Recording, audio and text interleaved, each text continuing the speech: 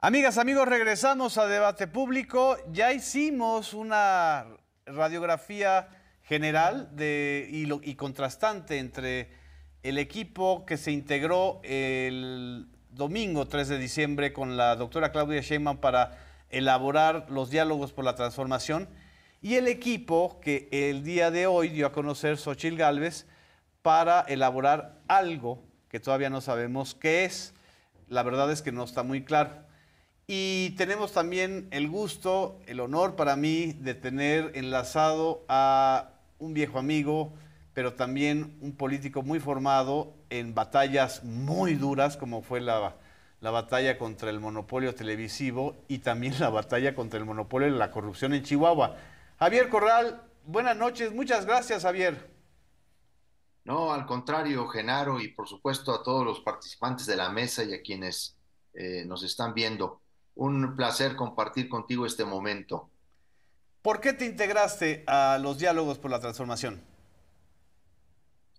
Bueno, en primer lugar acepté porque estoy convencido de que con la doctora Claudia Chemba se abre una nueva etapa eh, dentro de lo, de, lo, que se ha denominado la cuarta transformación, eh, este proceso de cambio político, económico y social en el país, en el que habrá la posibilidad de mejorar métodos, de concretar objetivos que no se han logrado e iniciar una nueva etapa de entendimiento político, de inclusión, que restablezca el diálogo en la pluralidad. A mí me parece que lo que vimos el domingo fue el primer ejercicio de ello, eh, no solamente al integrar este equipo de trabajo que elaborará su plan de gobierno, eh, sino iniciar ahí mismo un intercambio eh, que fue realmente muy interesante por las líneas discursivas que de ahí se generaron,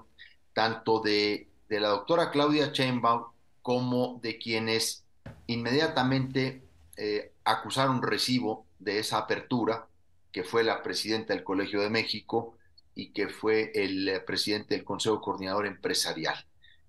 yo estoy convencido de que la doctora Chemba eh, va a generar una etapa de fortalecimiento y de, concreción de varios de los objetivos que hoy por hoy la 4T no ha logrado, dentro de logros indiscutibles que tiene, sin embargo, me parece que su propio perfil, eh, el compromiso, la seriedad con, el que, con la que ella toma las cosas, eh, garantizan esa etapa y por eso acepté Además, porque eh, la particular invitación que a mí me hizo para integrar una propuesta en materia de anticorrupción, pues toca una, de las asignaturas en las que yo tengo más eh, preocupación y ocupación, ¿no?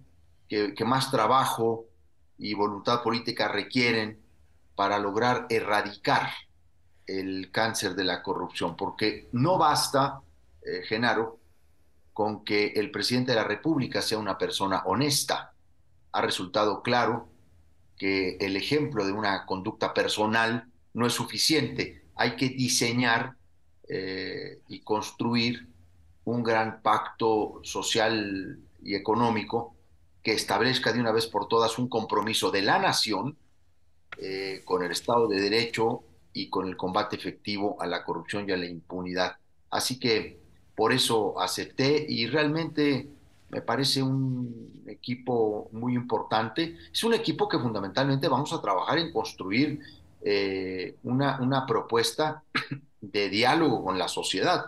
Sí. Eh, a partir del trabajo que, por cierto, ya hizo un grupo de, de, de, de Morena, ¿verdad? Porque los que estamos en este grupo, pues no necesariamente participamos en Morena, no somos miembros de Morena. Ese es mi caso, por ejemplo.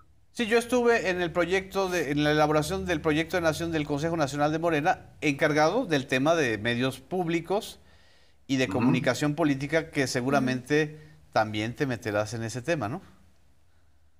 Bueno, ahora el grupo está llamado a a participar en cada uno de los ejes temáticos en términos de su especialización, vamos a decirlo así, o más que su especialización, porque ese no es mi caso, yo no soy experto eh, ni penalista o, metido en el diseño de, la política anticorrupción. Eh, en todo caso, la experiencia del gobierno de Chihuahua, porque eh, a mí lo que me, me, llama la atención, pues es que tiene la, la, invitación también un reconocimiento a la lucha colectiva que dimos desde el gobierno de Chihuahua y aún antes desde la sociedad civil en, contra de la corrupción política que encarnó eh, la gestión de César Duarte y sus cómplices, tanto en el PRI, en el PAN, como en el gobierno de Peña Nieto. Exacto. Eh, y por cierto, una, una lucha, y siempre lo he dicho, eh, no obstante que yo también en determinados momentos he tenido diferencias con el presidente López Obrador, debo decir que en esa particular tarea, en ese lance, yo siempre conté con el respaldo del presidente de la República. Exactamente. Luisa. Exgobernador, buenas noches. Buenas noches. Buenas noches. Pues preguntarle qué ve enfrente, ¿no? Ya mencionaba algunas áreas, eh, por ejemplo, ahora que decía vinculación con la sociedad civil, pues eso le tocará a Margarita Zavala y a otros excompañeros de partidos suyos. ¿Qué ve enfrente? No me acuerdo si hubo nombramientos anticorrupción, me parece que no pero ¿les preocupa que se articule justo un proyecto que pueda competir con estos nuevos nombres que conocemos hoy? Eh, en, relación con, el nuevo equipo de, de Xochitl Galvez. Sí, sí, sí, el nuevo que presentó hoy Xochitl Galvez. Bueno, Santiago Krill en eh, realidad. En realidad, de nuevo, no tiene mucho, ¿verdad? Es, eh, yo, sí veo, yo sí veo un enorme contraste, lo digo sinceramente mientras que la doctora Claudia Chemba ha hecho un pronunciamiento pues muy serio, muy, muy formal, como es ella, porque ella es una persona eh, muy articulada, muy comprometida, muy cuidadosa en sus expresiones, en sus palabras. Eh, desde ahí hay, una, hay un, notorio, un notorio contraste, una diferencia con relación al planteamiento que ha hecho Xochil Gálvez, que una vez más recurre a una estrategia que a mí me parece que es totalmente equivocada, porque es una estrategia que, pretende eh, llamar la atención de la gente más humilde o de la gente eh, que está en, las clases populares, confundiendo esa humildad o esa sencillez con la vulgaridad, con la altisonancia. es, un grave error, ¿no? Eh, confundir, por ejemplo, eh, a la pobreza con la vulgaridad, hay que decirlo con, alguna, de alguna manera. Eh, entonces, ahí hay un primer contraste, pero el segundo es el propio equipo. Realmente me llama muchísimo la atención eh, confirmar pues que no podrá salir eh, Xochitl de, de, ese enredo con los partidos políticos, sobre todo con quienes han secuestrado a los partidos políticos, al PAN, al PRI, al PRD. Estamos viendo fundamentalmente los operadores políticos de los partidos, los mismos que han hecho a lo largo de los últimos años de las eh, campañas electorales y de, estas, eh, estos momentos oportunidad para eh, revitalizar sus propios intereses, para recuperar sus privilegios, sus canonjías y lograr negociaciones. Mm, confirmo aquí algo que había dicho, ¿no? Me parece que Xochitl Galvez eh, lo único que va a terminar siendo es un instrumento eh, ciertamente de mayor competitividad que, lo que se tenía hace algunos meses en, el, en ese frente o en esa coalición eh, para aumentar la apuesta de los dirigentes de los partidos y lograr mejores o más posiciones en el Congreso, pero no creo que vaya más allá. Los perfiles que hoy están ahí, pues realmente eh, carecen de prestigio académico, intelectual, político o en términos gubernamentales. Más bien me parece que hay personajes muy cuestionados en términos de eh, el ejercicio público, algunos de ellos por faltas bien acreditables en términos de su desempeño. Eh, entonces, creo que no hay comparativo realmente el, domingo que nos reunimos antes de, que se presentaran los diálogos por la transformación, eh, pudimos intercambiar entre nosotros eh, impresiones con ella, un poco, pues, eh, decir quién es quién, ¿no? Ella fue incluso la encargada de irnos presentando en el propio grupo, porque yo hasta ese día no conocía el total de, de los integrantes del grupo. Ella me había comentado de algunas incorporaciones que iba haciendo a lo largo de las últimas dos semanas, pero bueno, ya que estábamos ahí todos reunidos, este, pues cada quien tiene una expertise, una especialidad, un prestigio, una trayectoria, y a mí me parece que esa es una gran señal, a ver, ese es un mensaje inequívoco. Primero, pues de un compromiso muy claro eh, y de una apertura en términos de pluralidad y, y de inclusión política, social, intelectual, académica. Exactamente. Emerson Segura. Eh, Javier, eh, un gusto eh, saludarte. Me gustaría preguntarte, ¿podríamos decir que posiblemente es que tú hayas sido el último gobernador panista que enfrentó, digamos que duramente en las urnas al priismo? ¿no? Y no cualquier prismo, sino al duartismo, ¿no? Viviste esa, esa, digamos que este desafío, llevaste una agenda anticorrupción muy fuerte, pero también de manera inédita viviste el retorno, eh, es decir, con la continuidad del PAN, pero de otro PAN, ¿no? Tú has hablado en distintos momentos de este maruduartismo, haciendo referencia a este contubernio entre la gobernadora Maru Campos y el PRI. Eh, y me gustaría preguntarte, eh, ¿qué le sucedió al PAN? ¿no? Tú desde 2015 e incluso recuerdo, tú llamabas una campaña testimonial, ¿no? Cuando Ricardo Anaya se postuló eh, para después de Gustavo Madero. Recuerdo que llamabas una campaña testimonial porque tú ya advertías lo que le estaba sucediendo al PAN. Un PAN capturado por una camarilla y que ahora pues tal vez la camarilla se ha ido también transformando y que nos pudieras contar cuál es tu impresión sobre este PAN y cuál es su expectativa de futuro en este nuevo matrimonio. Pues mira, eh, realmente el proceso de deterioro del partido es efectivamente un proceso de evolución hacia lo peor. Eh, fue muy difícil y representó eh, esfuerzos hasta cierto punto muy inútiles, los que en distintos momentos varios compañeros del partido y yo encabezamos para buscar o tratar de recuperar al PAN pues en su origen y destinos históricos.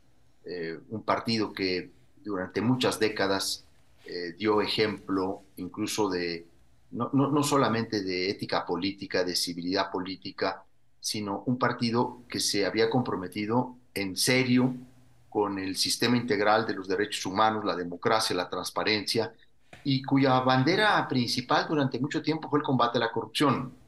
Eh, ese deterioro, esa evolución hacia lo peor, eh, pues terminó con, con el PAN cuando decidió aliarse formalmente con el PRI, eh, esto a finales del 2020. Yo quiero decir que esa fue mi última sesión del Consejo Nacional del partido. Es que hay, hay, personas que creen que yo he eh, recién abandonado las filas del partido. Bueno, presenté formalmente ya el trámite de mi renuncia al PAN, efectivamente hace más de un mes, pero desde hace tres años eh, había tomado distancia, no volvía a participar, lo digo como es, no volvía a participar en ninguno de los órganos del partido, ni siquiera como gobernador, porque todavía lo era en el 2021, eh, cuando el PAN decide eh, terminar enredado con el PRI. Y, no con cualquier PRI, es con el PRI más corrupto de la historia, es el PRI de Alito Moreno, que ya lo dice todo cuando un personaje como este encarna ese liderazgo en el, en el, en el PRI. Entonces, eh, pues fue un proceso de mucho, de mucho deterioro. Eh, además, la polarización que el país vive eh, ha permitido que dentro de Acción Nacional una rancia derecha o una derecha muy retrasada en la concepción de derechos eh, de visión social eh, tome un papel muy beligerante, un papel preponderante y el partido haya retrocedido en algunas de sus posturas. Bueno, eh, simple y sencillamente hay que recordar un enorme desliz que ha cometido Xochitl Galvez recientemente cuando ante el triunfo de Milei saluda ese triunfo como un síntoma, como un, un, viento de libertad en América Latina. Me parece que, que eso ha de pues, generarle, pues ahora sí que escalofríos ignotos a mucha gente, ¿verdad? ver a, a, a Xochitl Galvez teniendo que saludar el triunfo de Milei, porque ha terminado atrapada entre ese PRI corrupto y esa derecha que, aprovechando el momento de polarización del país, ha tomado nuevas posiciones, nueva preponderancia en el PAN. O sea, se ha derechizado más que nunca y esa es una eh, pena. Ahora, eh, una vez que yo terminé la gubernatura de Chihuahua, yo no decidí sumarme eh, a ninguna actividad pública. Aquí les puedo compartir que el presidente López Obrador me hizo varias invitaciones, que yo le agradecí muchísimo. Eh, digo varias porque fue un proceso de, de, varias eh, invitaciones que él me hizo. Yo preferí mantenerme por un momento al margen del servicio público. Afortunadamente él eh, me entendió muy bien mis razones. Eh, inicié un proceso, inicié, perdón, un emprendimiento cultural en Chihuahua. He puesto una hermosa librería, además de mucha calidad. Sandor Maray. Muy pronto, sí, la librería Sandor Maray, que muy pronto se convirtió en un potente centro cultural, ¿verdad? Eh, porque tenemos un programa cultural muy intenso, muy amplio, muy diverso. Y bueno, yo estaba ahí o he estado ahí estos dos años, va a cumplir un año la librería pero tengo ya mucho más tiempo en la planeación, en la selección, todo lo que significa la estrategia de organizar un buen catálogo de calidad de libros en esa amplitud de editoriales y de producción literaria que hay en nuestro país. Sin embargo, debo decirlo que ante, ante lo que yo he visto estos dos años, eh, lo que ha significado el PRIAN en Chihuahua, esa brutal regresión de la corrupción y el cinismo juntos, porque lo que regresó a Chihuahua eh, sí es el PRIAN, pero es el peor rostro del PRIAN, que es el maruduartismo. Esta, esta alianza entre María Eugenia Campos y César Duarte, que ha envilecido eh, de nueva cuenta muchas, eh, muchos ámbitos del ejercicio del poder público, yo realmente escucho algunos comentarios, críticas que hacen al presidente López Obrador en relación con el Poder Judicial o con el Congreso, y les digo, oigan, por favor, volteen a ver a Chihuahua lo que está sucediendo para que se den cuenta porque allá les dan las 25 y las malas. Así o sea, regresó Duarte con, con todo su, su, poder. Es más, yo creo que ahí hay una versión 2.0 de Duarte. Eh, es un cogobierno el que tienen, y eh, se genera otra vez la, corrupción, el control de medios, eh, es brutal eh, la manera en que manejan los medios de comunicación para atacar, para golpear, calumniar, para generar infundios a sus adversarios, el sometimiento del Congreso del Estado, el proceso tan vergonzoso que hoy se da en la renovación eh, del Poder Judicial a partir de siete nuevos magistrados, que en donde dos de ellos, hay que decirlo como es, dos de los candidatos del actual eh, proceso para magistrados fueron compañeros de nómina secreta de la actual gobernadora de Chihuahua, Maru Campos, que fue pues cómplice y beneficiaria de César Duarte. Entonces, esa es una regresión brutal. Yo no podía permanecer indiferente ante el riesgo de que esa tragedia local se convirtiera a nivel nacional y por ello creo que el proyecto de, Claudia Chemba es el único de los que hoy se presentan que tiene posibilidades de conducir a este país por la vía de la democracia, de la justicia social, de la honestidad y el buen gobierno, sobre todo si como lo he comprobado, lo he comprobado en muchos diálogos con ella, porque nuestra relación tampoco es de ahora, ¿verdad? Eh, tenemos un, hemos venido conversando eh, Claudia y yo, eh, así de una manera más eh, frecuente, pues hace un par de años, ¿no? Ella escucha y yo estoy seguro que habrá esas posibilidades si se abre la colaboración y al aporte de diversas fuerzas sociales y opiniones discrepantes, como lo ha demostrado el domingo pasado. Así es. Alberto Nájar. Javier, buenas noches. Eh, buenas noches. Más allá del puro contraste y de lo que implica la revisión puntual de la biografía de los miembros de los equipos de colaboración que ambas precandidatas han presentado, y esa visión que todavía no acaba de explicarse, yo no me la explico, no veo más allá de, eh, parafrasear una, una frase de, de, eh, hace un ratito, que decían administrar la, la derrota por parte del lado de Xochitl Galvez. Del lado de, de Claudia Sheinbaum ha integrado un equipo de trabajo de colaboración que pretendería, desde mi punto de vista, mandar la señal de que aquellos que en el momento, en el periodo de gobierno del presidente López Obrador, por una u otra razón se sintieron no representados, distanciados y por qué no también decirlos desilusionados, como que manda la señal de que es la oportunidad de incluir también estos grupos. Eh, ¿Esto para dónde tendría que caminar? ¿Cuáles serían como que de manera muy puntual en estos tres minutitos que nos quedan esos lugares en los cuales se necesita profundizar o cerrar la, relación o cerrar heridas y construir un nuevo tejido que permita una transformación como se ha iniciado en, este gobierno?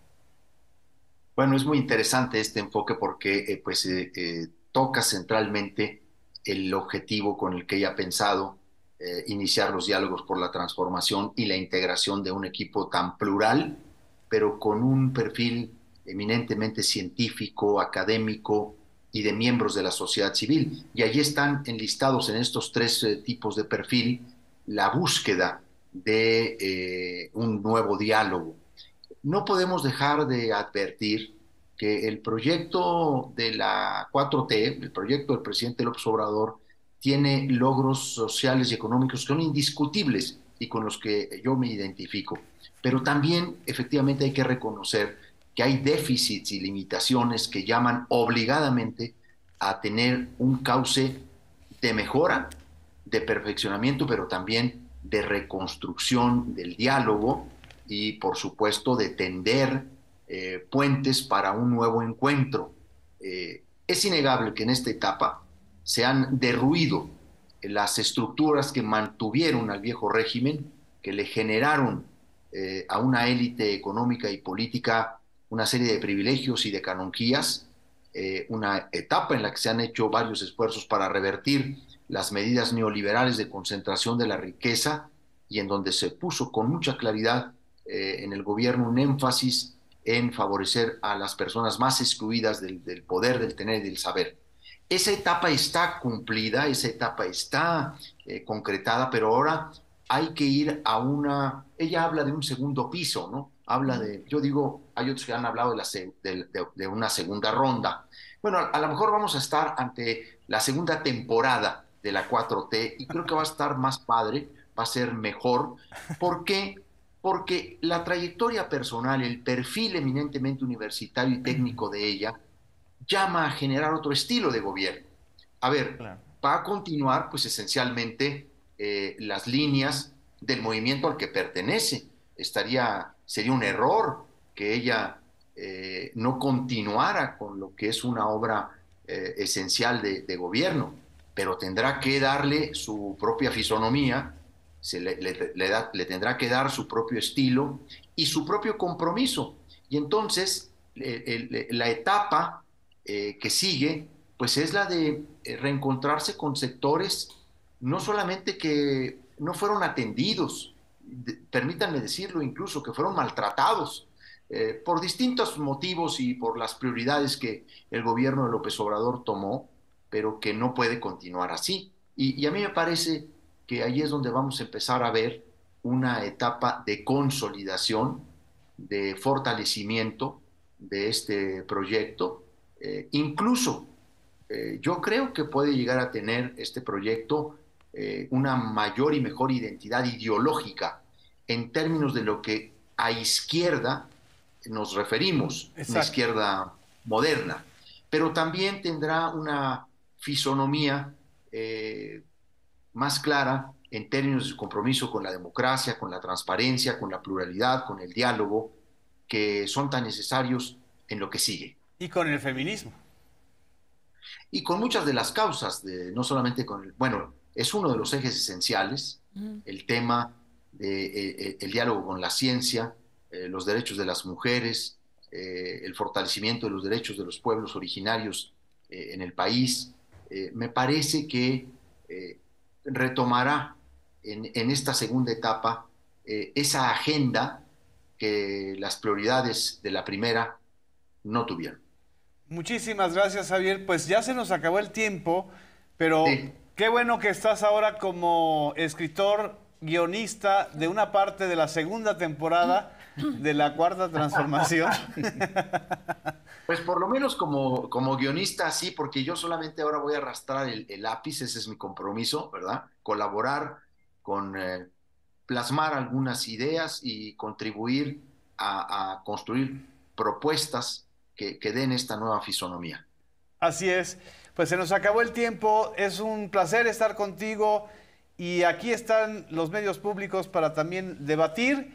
Y muchísimas gracias. Buenas noches. Nos vemos en el siguiente debate público.